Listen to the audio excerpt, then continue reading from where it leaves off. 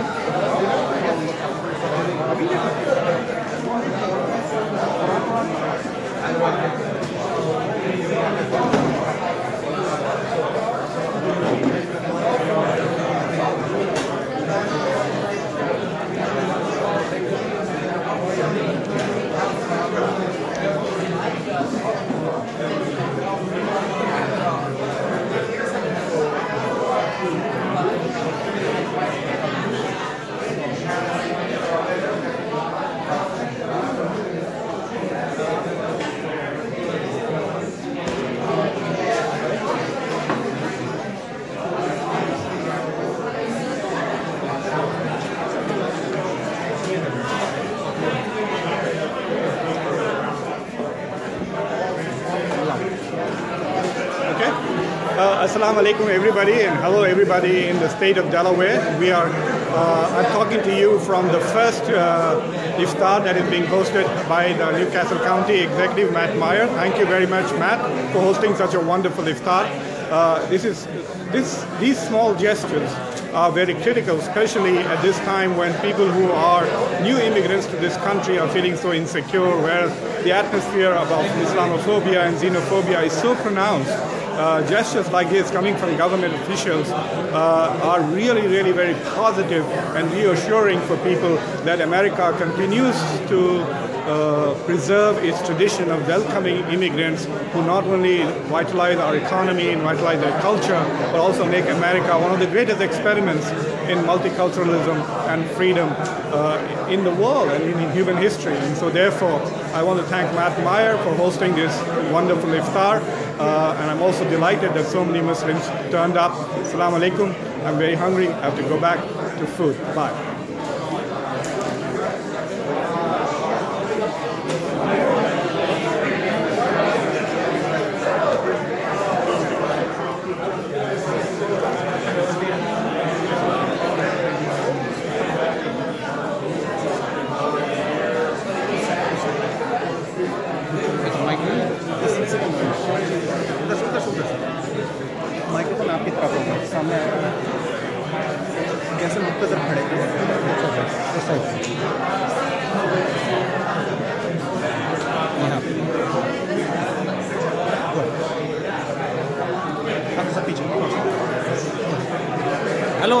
Alaikum. Welcome to the first Muslim get together with, with County Executive Mr. Matt Meyer.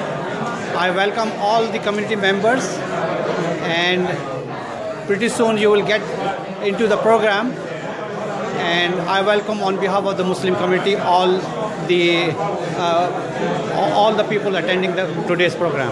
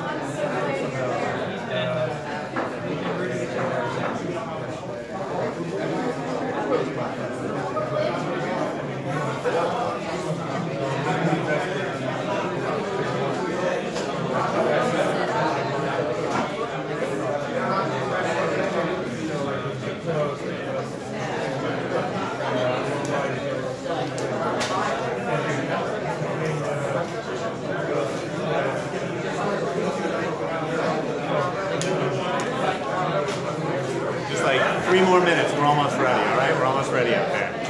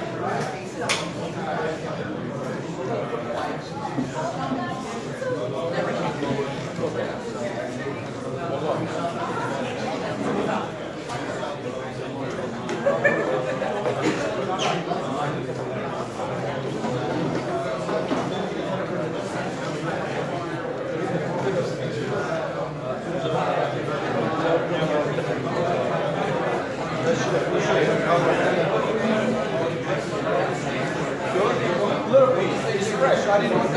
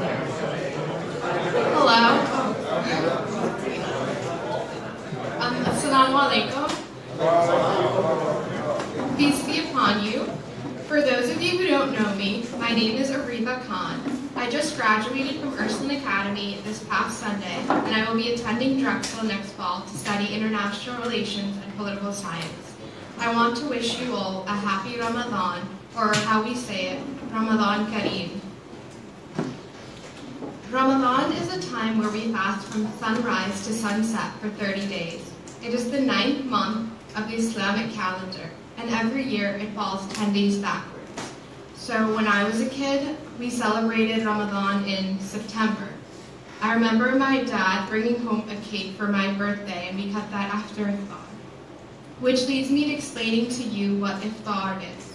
I mean, you've been invited to one, so I think you should know what it is. Thanksgiving, Christmas, Hanukkah, and even Lent. All of these are holidays involving food, family, and faith.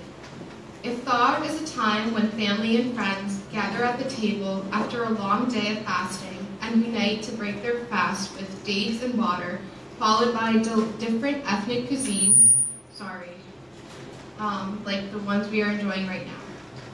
For the past 12 days now, Muslims have been waking up at 3 a.m. to eat a nutritious meal called suhoor.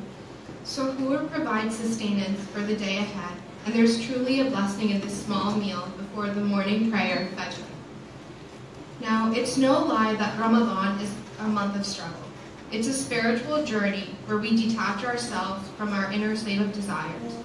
We not only learn to control our mouth from food and water, but we learn to be careful with our words, learning to control our anger and our emotions, replacing those with good actions, prayer, such as prayer and charity. Ramadan is a celebration. It's a time for us to renew and replenish our mind and body. Now, I would like to thank, take the time to thank New Castle County Executive Matt Myers for, and Jessica Gibson for organizing this wonderful event.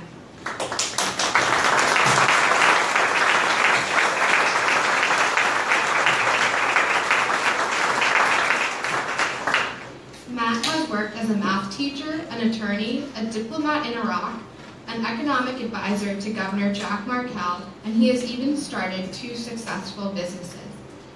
Um, I would also like to thank Jessica Gibson for organizing this event. I met Jessica actually at her TEDx talk, and we, she ended up becoming my mentor for my TEDx talk. Um, so thank you both so much. Planning an iftar is incredibly stressful and daunting. Now, I would also like to take the time to recognize the dignitaries in the room who we are so fortunate to have in attendance with us tonight. Um, U.S. Senator Chris Coons.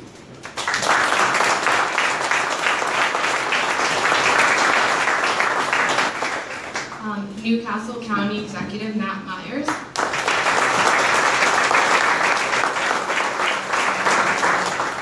Representative Valerie Longhurst.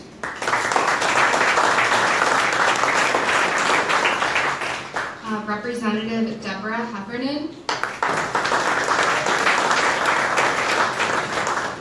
Director of State Housing Authority, Anas Ben Addi.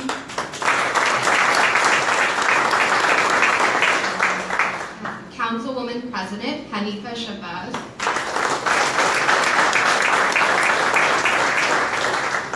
New Castle County Councilman John Cartier.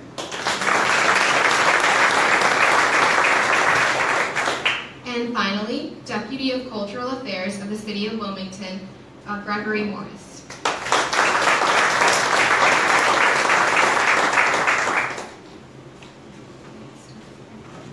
Um, now I would like to introduce to the floor um, Myers.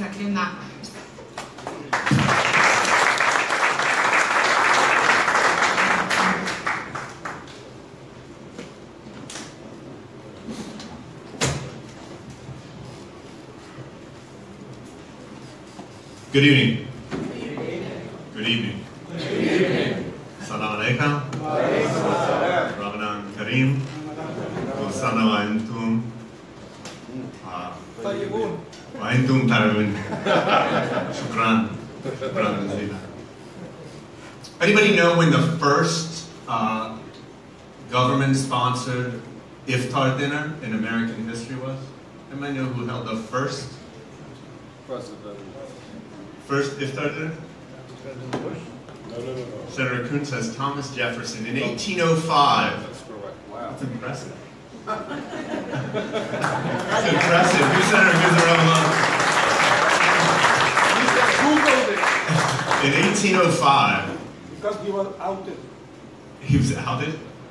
He was like Obama. It was like Obama. Thomas Jefferson, that's a story.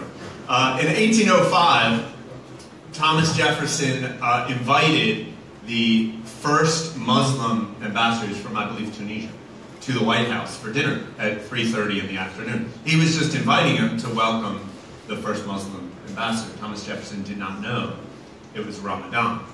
When the ambassador declined the invitation and explained, uh, they moved the invitation to the evening and turned it into the first uh, iftar dinner. It actually was the only iftar dinner uh, at the White House until 1996, when President Clinton restarted the tradition and held, I guess, the second uh, iftar dinner, and then it became an annual event, and it continued every year since then uh, until this year.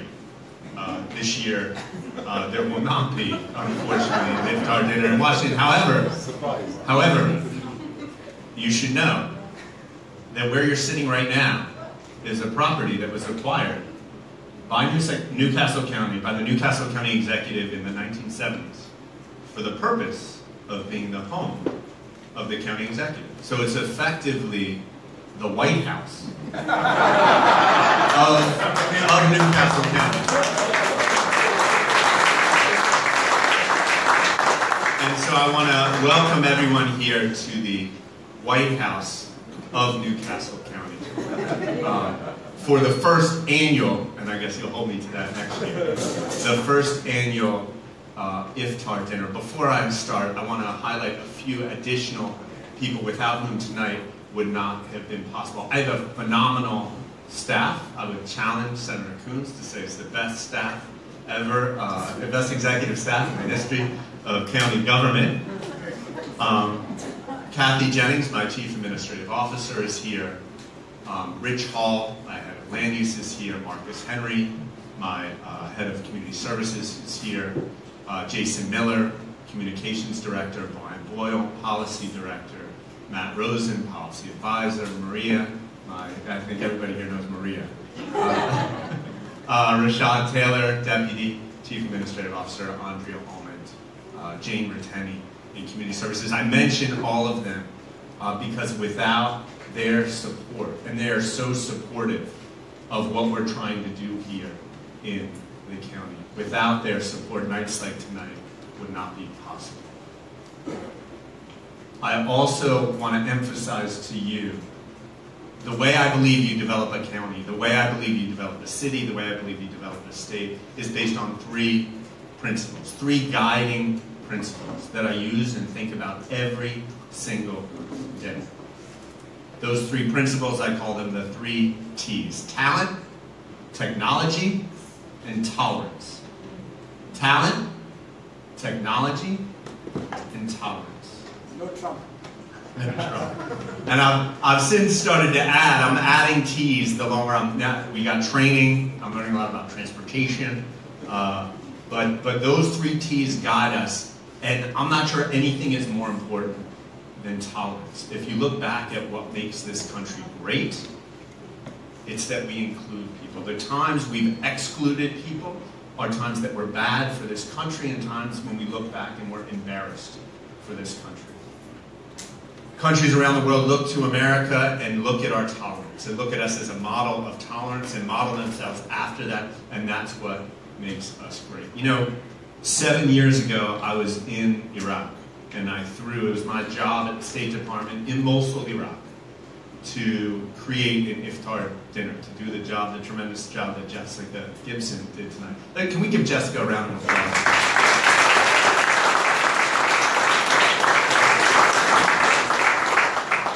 And I had to uh, put together a group of Iraqi leaders from Mosul, Iraq. And at the time, we were doing a lot of, a lot of work with women's groups, trying to bring the women of uh, Iraq together and give them business opportunities. And one of the keynote speakers that night was a woman named Samira Ali Al Nuaimi. She's uh, an Iraqi woman. And she asked us all, why do Muslims fast on Ramadan? Why, do, why would God why would Allah want people to fast, to not eat on Ramadan? And she cited two verses from the Quran. Uh, one, she said, It is better for you that you fast if you ye only knew. It is better for you for you that ye fast if ye only knew. And she cited this to say that you want to feel the same hunger that the least fortunate among us feel. You want to feel that hunger that the least fortunate among us feel. And she cited that to tell us that every day during Ramadan and beyond in your life, you think, you, you try to feel, you try to empathize, understand that hunger that the least among us feel. And at the time, she was talking about Mosul Iraq, but I've been thinking about that in terms of New Castle County. How do we find the least among us and help them? And lift them up. Be tolerant of them. Use our talent, use our technology to lift them up. The second thing she so talked about was taqwa. Again, from the Quran, she said, Fasting is prescribed for you as it was prescribed for those before you, that you may attain taqwa. And there are people in this room who probably can talk for hours and hours about taqwa. I got to be honest with you, taqwa is the name of a camp a couple hours from here where uh, friends of mine went when I was a kid, Camp Tockwogh. Um, but of course, in, in uh, the Muslim tradition, it means something very different. It's about a, a conscious and cognizant uh, faith in Allah. And uh, she spoke that night about how it's not just about believing in Allah, it's about a consciousness. It's about watching and understanding where you're going, understanding every step you take, and making sure that step is a step with goodness. And so actually, though I'm a Jew, every year during Ramadan time, I take some time to think about those two principles. What am I doing? What am I doing to feel that pain of hunger? To feel that pain of the least fortunate among us? And what am I doing to watch every single step I take to make sure the step I'm taking is a step of goodness? Moving the world forward, moving the county forward. This is a magical event for me, I think for my staff, and for the people of this county. At this time in American history, it's so important that we come together and we say a lot of what we're seeing on TV, a lot of what our kids are seeing on TV, is not who we are as people. When you look around this room, this is who we are as a county, this is who we are as a state, and this is who we are as a country. So I want to thank each of you for making this first iftar dinner in New Castle County's history, possible here at our very own White House.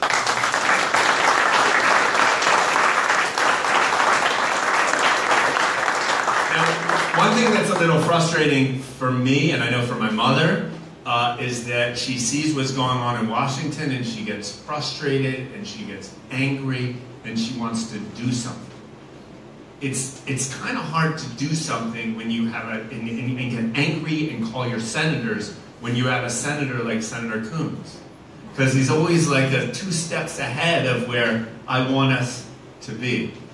He's been up since five o'clock this morning. He's been up since five o'clock this morning, as he is most mornings, working for all of us, working tirelessly in Washington. And I think he'd agree that now, more than ever, we need him and we need his voice. Washington. So without further ado, please give a warm welcome to former County Executive Chris.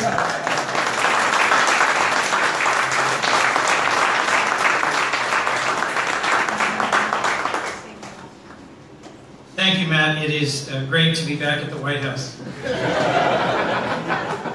I will tell you, this is the White House I'd rather be in. So, assalamu alaikum and Ramadan Kareem. This was a delicious, wonderful dinner and a terrific chance uh, for all of us to gather to be together this evening. Um, if you didn't already know that we are blessed to have a county executive uh, with a spirit of humility and grace and with a deep understanding of our whole community, um, you know it now. Let's give Matt another round of applause. A very, very talented man who understands uh, what it means to be a public leader at this time in our country. Um, to put it simply, we need to be a nation that builds bridges, not walls, that celebrates all of us, and that recognizes that our strength is in our different paths. That whether it's Rosh Hashanah and Yom Kippur, whether it's Lent or it is Ramadan, the different traditions of our Abrahamic faiths that give us the opportunity to reflect and to seek peace and to do good works together and to understand that calling that moves us towards each other rather than away from each other. These are great moments of blessing for our entire nation. So um, thank you, Matt, for hosting this uh, first New Castle County Iftar in this uh, wonderful historic carriage house, um, and for all the different ways I think we will uh, find to work together in the future to make this a stronger, uh, dynamic, and interesting uh, event as it already is. Um, to the clergy who are present, to the sheikhs and imams, to um, the rabbi and father um, and seminarian who are with us, um, thank you um, for what you do um, to be leaders in our community, to be the sort of people who call us to be better people. This has been a very demanding year. Uh, we have seen publicly a rise of hate and of threats, um, not just in our country and the world, but, but right here. Um, the Jewish Community Center, um, ISD, uh, were the subject of threats, uh, bomb threats, uh, of vandalism. Um, we had an event in our own state capital um, that I think was a shameful uh, rejection uh, of uh, the inclusion of all faiths in the daily prayer. As Dr. Mukhtar Khan was kind enough to join me articulating to our community, um, there are two paths we can take uh, in, a, in a moment of division. Um, and one is to be uh, concerned by our differences, and the other is to embrace them. And to not just tolerate, but to celebrate, uh, to recognize um, the depth and the greatness um, that is at the very heart of Islam, as well as Judaism, as well as Christianity, um, and the great strengths of those who have no faith, but who bring an ethical approach uh, to governance and to civic participation. Um, I'm thrilled to be joining this uh, this evening uh, with Amin Hussein. I just wanted to say it is so good to be with you, my friend. Um, I know many of you know about the journey that's brought him to be with us this evening, and it just it does uh, it does my heart excuse me it does my heart uh, good uh, to be with you again this evening and to see um, you safe and here with us in Delaware.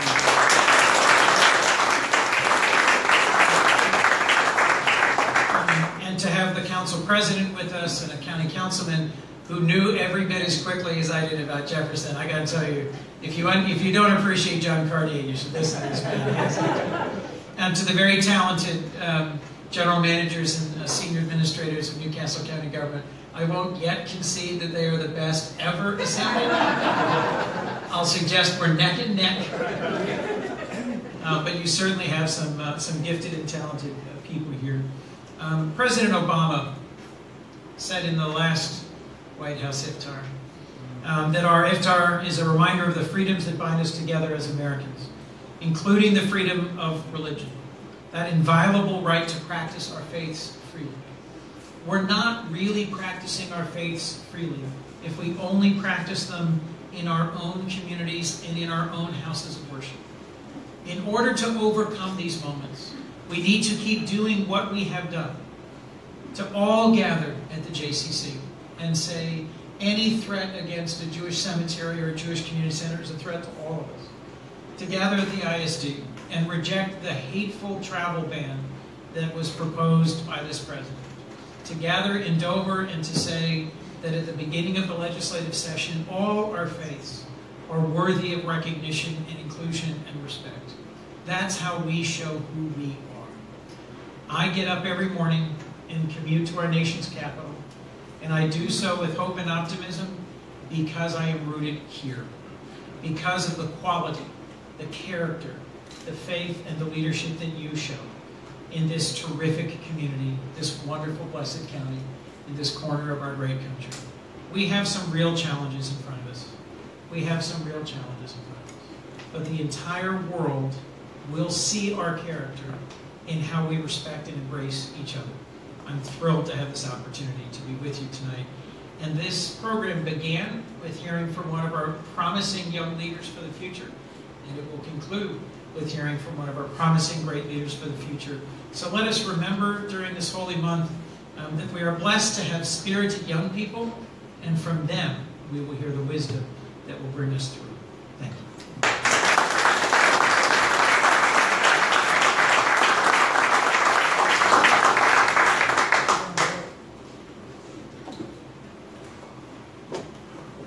Thank you very much, Senator Coons, for those words. Um, now, I would like to welcome a very special person to the floor. She's my friend and my partner in crime in organizing the TEDx Youth at Wilmington Conference, Yara Watt. Yara is a rising senior at Ursuline Academy, where she has been elected student council president.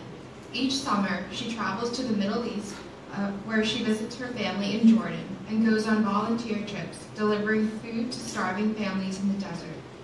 In Jordan, she visits orphanages where she has financially adopted a young girl whom she continues to mentor overseas through social media. Please give a warm welcome, to her as she performs her TEDx talk titled, Does the American Dream Exist for a Girl Like Me?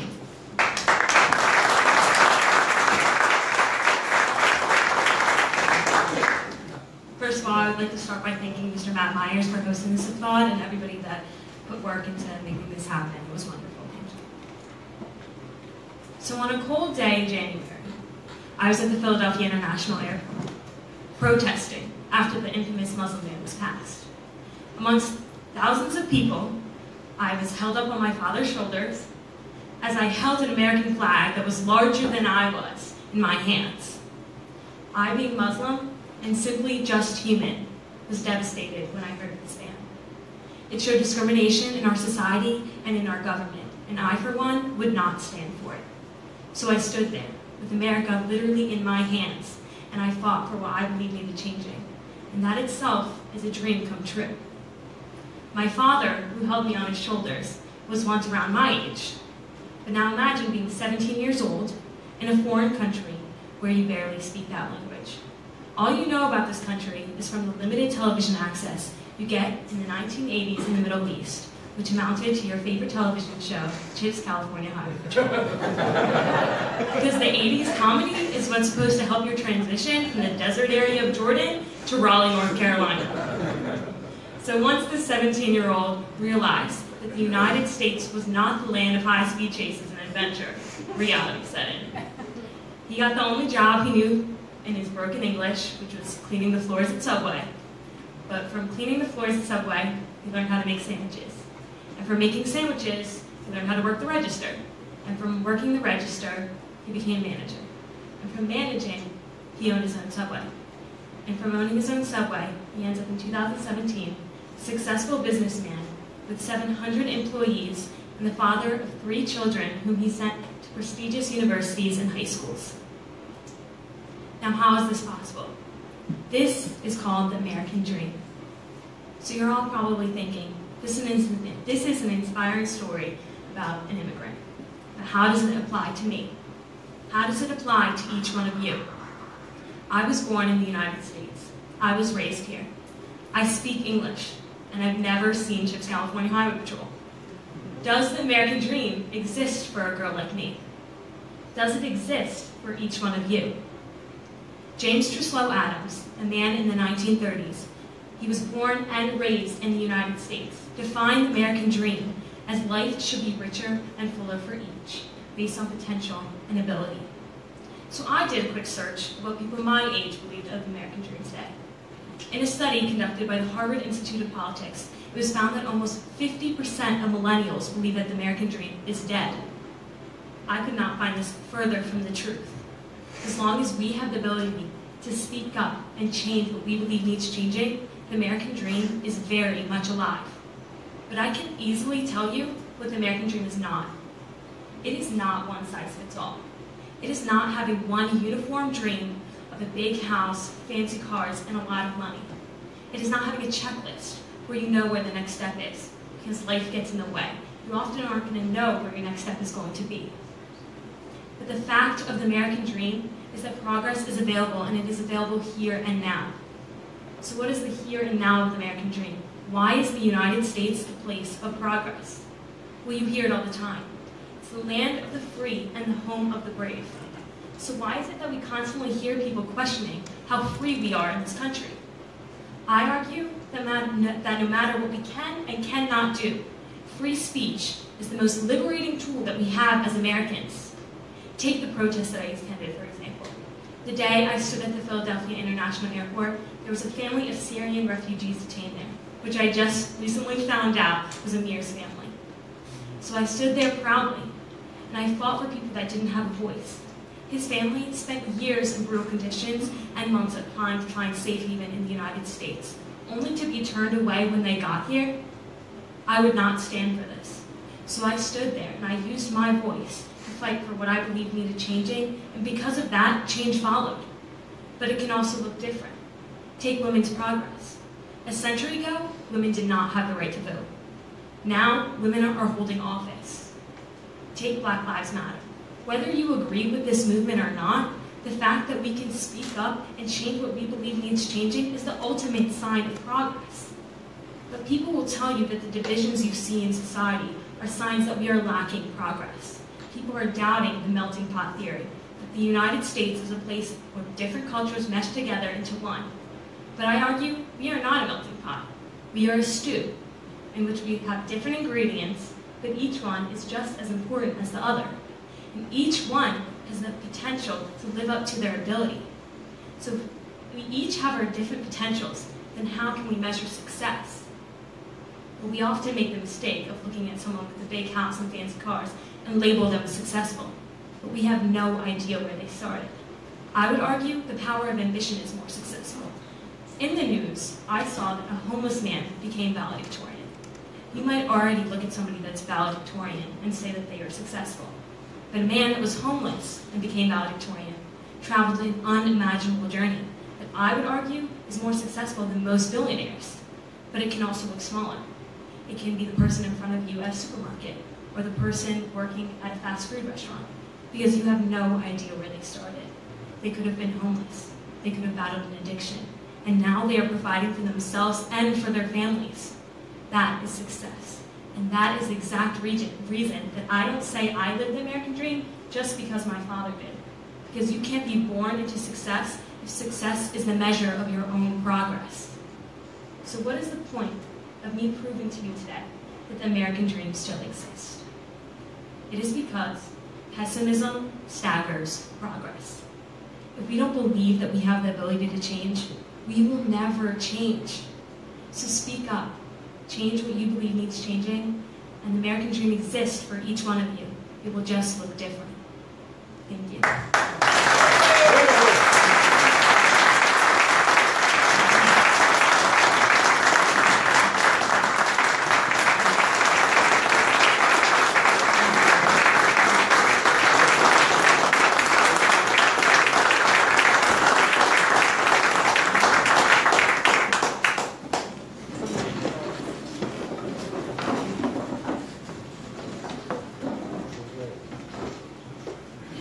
That was absolutely amazing, Yara. Thank you so much. Um, now we will have a special presentation from Matt Rosen, Policy Analysis for New Castle County.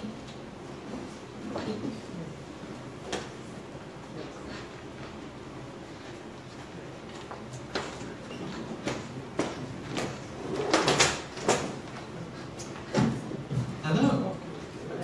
Salam alaikum.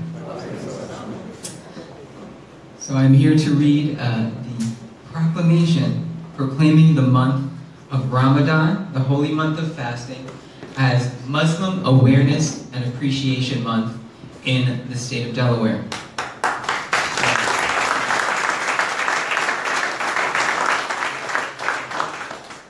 Whereas Islam.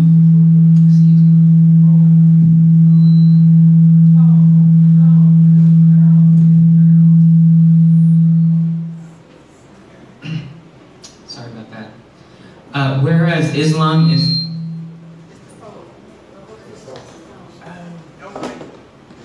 No mic. Okay. Yeah, I will project my voice.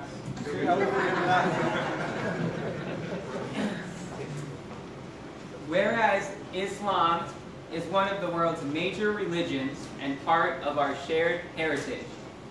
Whereas from the early days of the pioneers to our present day leaders, Muslims have played a significant role in the history of the state of Delaware's economic, cultural, spiritual, and political development. And whereas there are several thousand Muslim residents across New Castle County contributing to its economy, social fabric, and multicultural and pluralistic traditions. And whereas the Muslim residents of New Castle County, with their hard work and contributions to medicine, science, information technology, education, police, military, and many other fields, have benefited from and enriched the county's open, tolerant, and economically vibrant environment. And whereas the United States great, uh, greatly benefits from the expertise, patriotism, and humanitarianism of, of Muslim Americans who represent 10% of America's physicians, helping to heal hundreds of thousands of Americans each year who have long distinguished themselves as courageous and dedicated members of the United States Armed Forces, fighting and sacrificing in every major war, from the American Revolutionary War to present-day conflicts, and who regularly contribute to the health and vitality of their communities, giving food to the hungry, sheltering the needy, and providing inexpensive or free health services, among other community services. And whereas, although the Muslim Americans within New Castle County, state of Delaware, and throughout the nation serve to promote peace and understanding between all faiths, identities, and nationalities, uh, while upholding those values and principles that define the American people, they have nonetheless been forced to endure harassment, assault, and discrimination since the terrorist attack on September 11, 2001, and the reports of incidents of anti-Muslim violence and vandalism in the United States has increased many folds in the last few months. It is therefore appropriate to acknowledge and promote awareness of the myriad, invaluable contributions of Muslims, Americans in the New Castle, in New Castle County, state of Delaware, and across the country, and extend to them the respect and camaraderie every American deserves. And whereas Eid al-Fitr, forgive me if I mispronounce that, um, after, okay, after the holy month of fasting, Ramadan, and Eid al-Adha, during the pilgrimage of the Hajj, have previously been recognized by the county executive on April 19, 2016, whereas Muslims annually celebrate a month of fasting known as Ramadan, the ninth month of the lunar calendar, and whereas Ramadan is a time to reflect spiritually, build communally, and aid those in need, Ramadan also marks an annual spiritual beginning for each individual, a reason to celebrate and express gratitude in this month. And whereas, during the month of Ramadan, all people are encouraged to reflect on past successes and challenges of Muslims and look to the future to continue to improve our society so that we live up to the ideals of freedom, equality, and justice. And whereas this country recognizes, this county recognizes the observance of the holy month of Ramadan as a month of fasting, sacrifice, and reflection, henceforth as part and parcel of our country's religious and cultural heritage. And whereas the, as the month of Ramadan is observed, we must remember the critical importance of the respect that is to be accorded all faiths and beliefs as reflected in the First Amendment to the United States Constitution, which forbids the making of any law respecting an establishment of religion or prohibiting the free exercise of religion. Now, therefore, be it known that New Castle County in the state of Delaware pro proclaims the month of Ramadan as Muslim Awareness and Appreciation Month. Be it further known that New Castle County extends its best regards to Muslims who observe the month of Ramadan in this county and throughout the world. Be it further known that, the New Castle, that New Castle County encourages schools and employers throughout our county to extend religious accommodations in according with existing law to the many Muslim students in our schools and Muslim workers throughout our state. Be it further known that all residents of this county are encouraged to join New Castle County in celebrating the collective ingenuity, creativity, cultures, traditions of, and traditions of Muslims, and committing ourselves to raise awareness of the and appreciation of the month of Ramadan by participating in events honoring the contributions of Muslims.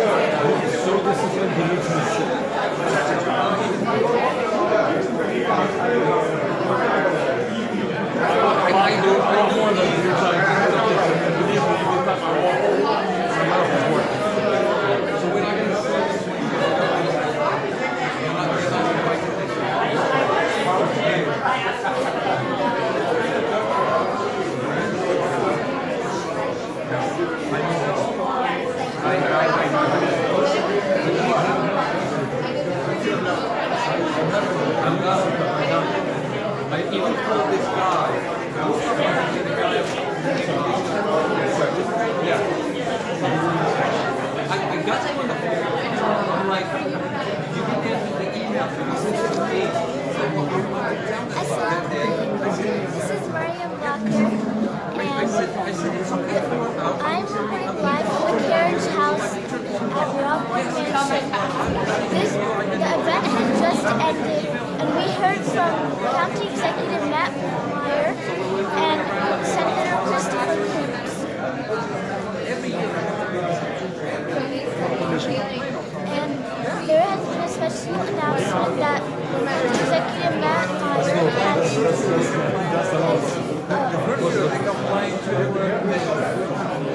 given a prop, has signed a proclamation that Ramadan will be uh, Ramadan will be a special Muslim will be a special Muslim awareness month.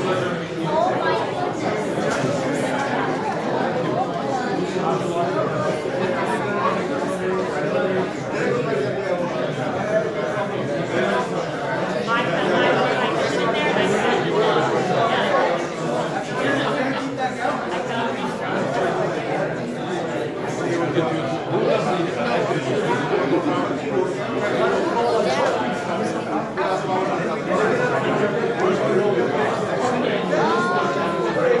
If you look upwards, it's going to be looking down here.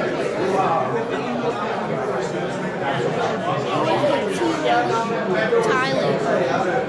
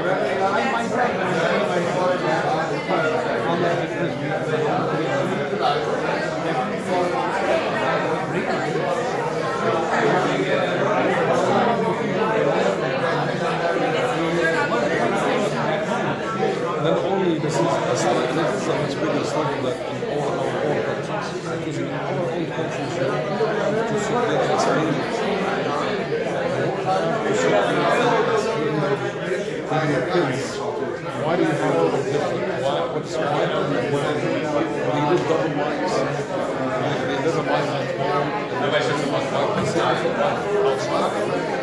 these challenges, a kid who's born and raised in or doesn't